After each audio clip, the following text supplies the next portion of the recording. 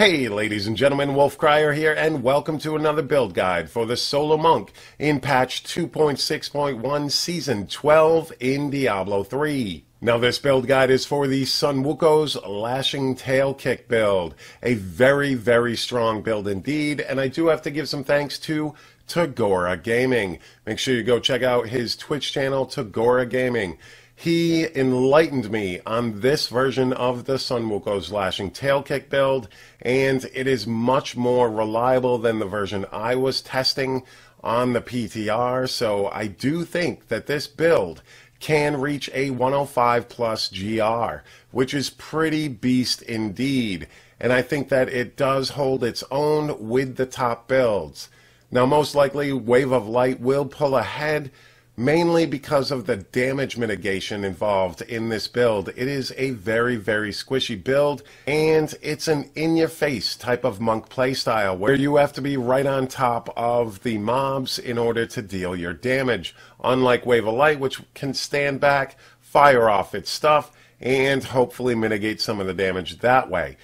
But this build, pretty squishy, but I think it deals enough damage to get up there and be one of the best builds for the solo monk. All right, so first up for the stats for this build, what you're pretty much looking for is some life on hit, area damage. Those are pretty key with the way you want to run this build, as well as critical hit chance, crit damage, and of course, dexterity, vitality, and secondary resistances, if possible, on your gear. The life per hit is definitely going to be helpful, as is the area damage, because this build does a ton of damage. And you want to use that area damage to knock down the elite packs, especially those blue packs, because that is what is going to progress the rift for you. Now, let's go ahead and take a look at the gear. First up, you are going to be utilizing the six-piece Sunwuko's Monkey King's Garb set. Now for the two-piece set bonus, your damage taken while Sweeping Wind is active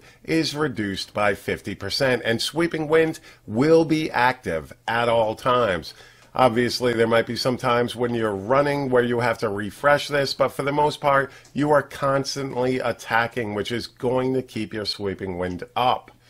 And for the six piece set bonus, each stack of your Sweeping Wind increases your Lashing Tail Kick damage, Wave of Light damage, and Tempest Rush damage by 1000%. And you can get up to 10 stacks. So that is a 10,000% damage boost to your Lashing Tail Kick. You will achieve this set bonus by wearing the shoulders, the gloves, chest piece, pants, and the amulet and you will also wear the Royal Ring of Grandeur in your cube, which is going to allow you to wear those five pieces and get that six piece set bonus. Now, another set that you are going to be running is your Focus and Restraint, the Bastion of Will set. And this is going to increase your damage by 50% whenever you attack with a generator and another 50% every time you attack with a Spirit Spender. So your generator is going to increase your damage and your lashing tail kick is going to increase your damage.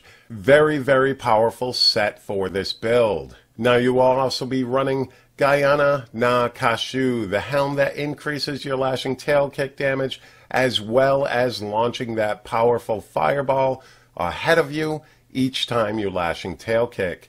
This piece of gear is very important to this build because you definitely want the increased lashing tail kick damage as well as that fireball does a decent amount of damage itself. Another very important piece of gear is your Riveera Dancers, the boots that increases lashing tail kicks attack speed by 50% and its damage by up to 300%. Very, very important to this build. Lashing Tail Kick does a massive amount of damage when combined with these items. Now for the belt slot, I use the Witching Hour. Now, you can use Kyoshiro Soul, but for the most part, Kyoshiro Soul is pretty useless. They kind of need to revamp the whole belt because you do not lose stacks anymore when you are attacking with your Wave of Light, Tempest Rush, Lashing Tail Kick so those stacks never disappear. And, and as long as you are hitting stuff, you are not losing those stacks. So while you're running from mob to mob, maybe then you'll have to refresh your sweeping wind, but for the most part, you keep your stacks throughout the rift, which is why Witching Hour is a pretty big damage boost and very important with this build. You could use something like Vigilante Belt for the cooldown reduction or String of Ears if you really, really need some more damage reduction, but I think that becomes quite redundant with the amount of damage mitigation pieces that we use in this build. Next up, very important, is Spirit Guards. This is going to be one of your main damage mitigators, and this is actually one of the older versions. The newer versions give you up to 60% damage mitigation, and you definitely want as close to 60% as possible. Now, on these, you're looking for fire skill damage, critical hit chance, dex, and most likely vite, or maybe some life on hit, but I'd go with vitality instead. And this is definitely going to add you a ton of damage mitigation. Now, for your weapons, I use Scarbringer. And Scarbringer increases your lashing tail kick damage to the first seven enemies hit by up to 600% now.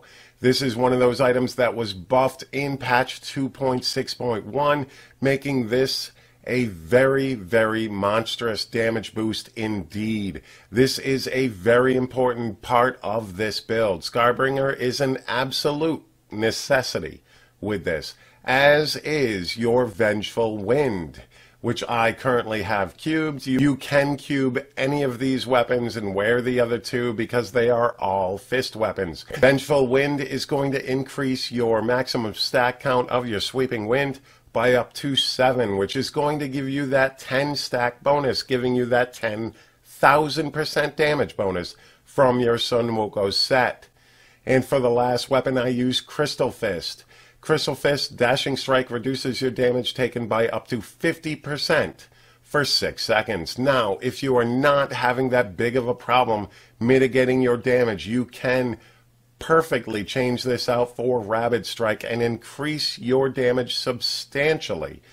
I've tested both. Unfortunately, I think with Rabid Strike it is extremely squishy, but Currently on the live server, I do not have a 60% Spirit Guard, so that might help with the damage mitigation, and then maybe you wouldn't need the Crystal Fist. On the PTR, I was testing it with uh, Rabid Strike instead, and I was able to clear a 92 GR with no augments whatsoever and unoptimized gear. I think Rabid Strike deals more damage, but Crystal Fist will keep you alive. And for your armor slot in the cube, we are using Lefebvre's, Lefebvre's, whatever. We're using the shoulders that mitigates your damage by 50%. The damage mitigation is very, very useful.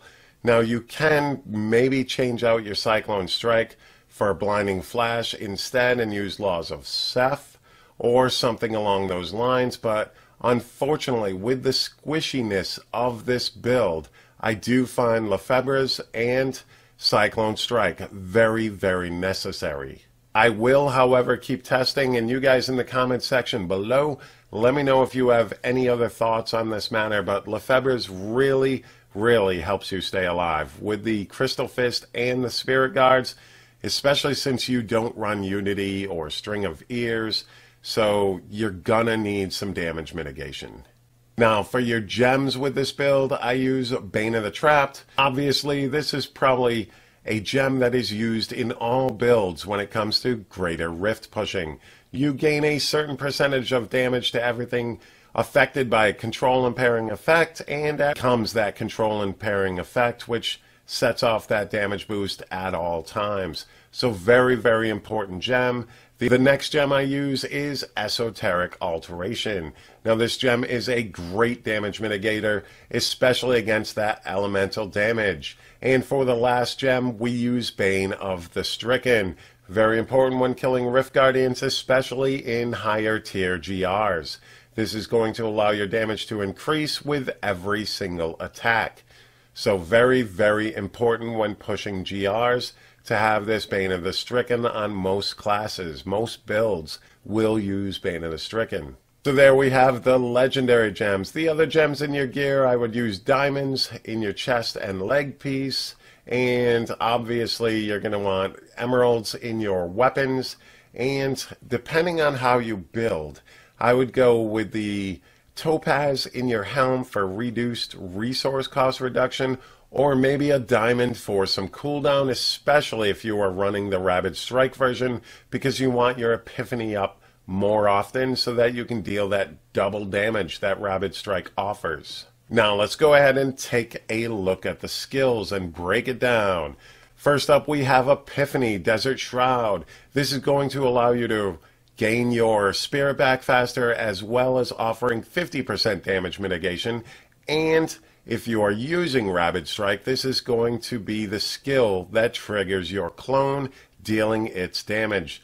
So very important skill to have. Epiphany also allows us to navigate through the rift by clicking on mobs when your dashing strike is down. So very useful skill to have on most monk builds. Next up we have dashing strike, blinding speed. This is going to be another Great damage mitigator because it gives you 40% increased dodge chance and it allows you to navigate in and out of sticky situations as well as through the rift. Then we use Cyclone Strike Implosion. This is going to group the enemies neatly for you while also triggering the damage mitigation from your Lefebvre's in the cube. So very useful skill to have. The only drawback is the spirit cost of your Cyclone Strike is going to limit the amount of times you can Lashing Tail Kick afterwards. Now you will be using a generator to get most of your spirit back and you won't be using Blinding Flash or anything like that. So very, very important to remember not to Cyclone Strike too much. You want to group the enemies get your spirit up, start casting off those lashing tail kicks, kill everything around you, rinse and repeat. But I would definitely use this to keep the damage mitigation boost up and group the enemies for you. Just don't go spamming it during the rift. Then we're using Sweeping Wind Inner Storm.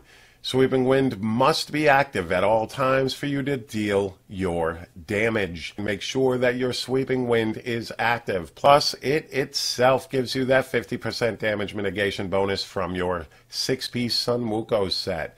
And by using Inner Storm, we gain Spirit back. So very useful to go with Inner Storm instead of any of the others because its damage is pretty negligible even with the four piece set bonus on your Sun Wukong set, you don't really notice the damage. So Spirit trumps everything when it comes to this skill. Then for your generator, we are using Crippling Wave Tsunami. Just like a ZDPS monk, that third hit is going to create a swirling circle and hit multiple enemies up to 17 yards away, which is going to refresh your spirit faster. That's why I've gone with Crippling Wave Tsunami. It's just for the spirit regeneration. You could go with Assimilation or something else if you'd prefer. And for your last skill is Lashing Tail Kick, Vulture Claw Kick. Now this is your main source of damage, and you will release a torrent of fire that burns enemies within 10 yards for 755% weapon damage as fire and an additional 230% over 3 seconds. Now this, like I said, is your main slash only source of damage with this build. Very important to keep your focus and restraint buff up by hitting with your generator and then switching over to lashing tail kick. So your generator is doing multiple things for you and that is replenishing your spirit triggering the damage mitigation from your spirit guards, and activating your focus and restraint portion so that when you switch over to lashing tail kick, you just deal a ton of damage. Now let's talk about the passives. First up, I use Exalted Soul. This is going to increase your maximum spirit by 50 and increase your spirit regeneration by 4 per second. Very useful keeping that spirit up. I have tried other things such as Seize the Initiative. That can be useful, but I do think that the spirit regeneration is very, very useful. Next up, I use Guardian's Path. This is going to allow you to gain 35% additional chance to dodge because you are dual wielding. You could actually use Resolve or Near Death Experience if you choose, but I like Guardian's Path. Next up is Beacon of Ytar. Now this grants you 20% cooldown reduction and that is very useful at keeping your epiphany up as well as giving you those dashing strike charges back a little bit faster. So Beacon of Ytar is pretty good to have. And last but not least, we are using Harmony. 40% of your single elemental resistances gets put towards your all resistance. So that's why it's very important to have secondary resistance on all of your gear, or at least as much as you can. All right, ladies and gentlemen, so there you have my Sunwuko's Lashing Tail Kick Greater Rift pushing build for Season 12 in Diablo 3. I personally cannot wait to keep testing this build to see how far it could actually go, because I do think it can rival Uliana's at least, and most likely it can come close to what Wave of Light can do. The only problem, like I said, is the fact that it is just ridiculously squishy. So once that part is figured out, the damage is not a problem. This build does a ton of damage. And like I said, don't know, this could rival Wave of Light. Guys, let me know in the comment section below if you have any changes that I can test out or anything like that, as well as what you think of this build guide and that sort of thing. Guys, thank you so very much for taking the time out of your day to watch my video. I greatly appreciate it and hit that like button, hit that subscribe button, and you guys have a fantastic day. Peace.